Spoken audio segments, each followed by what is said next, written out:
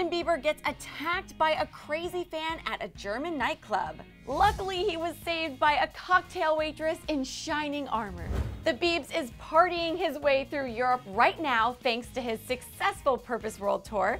Justin was out on the town at Heart nightclub in Munich with his business partner John Shahidi when a tipsy patron lunged at Justin. Take a look at this footage obtained by TMZ.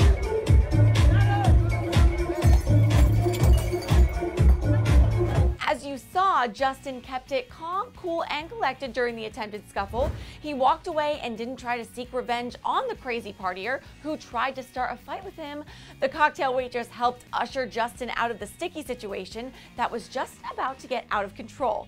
Reportedly, Justin's party partner, John, also made an assist, pushing the attacker to the ground.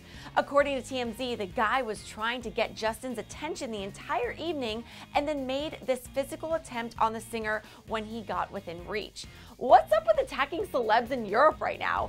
Justin and Gigi have some fan stories to swap. Just last week, the model was attacked by a stranger outside a fashion show in Milan. Now that you've seen the footage for yourself, do you think Justin handled the situation appropriately? Tell us below all of your thoughts on this incident and check out Gigi Hadid dishing on her scary stalker moment in this week's episode right here.